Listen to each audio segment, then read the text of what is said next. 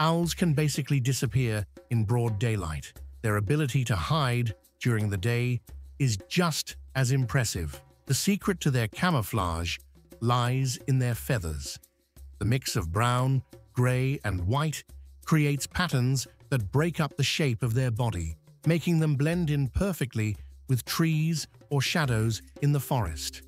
Some species even have little feather tufts on their heads that make their round face look less obvious. Some owls have fake eyes on the back of their heads. When they tilt their head forward, it looks like they have a second face. Their feather color can also shift depending on the climate. Take the eastern screech owl, for example. They come in brown in warmer areas and grey in colder ones. Interestingly, a study from Finland showed that grey-coloured owls survive snowy winters better than the brown ones.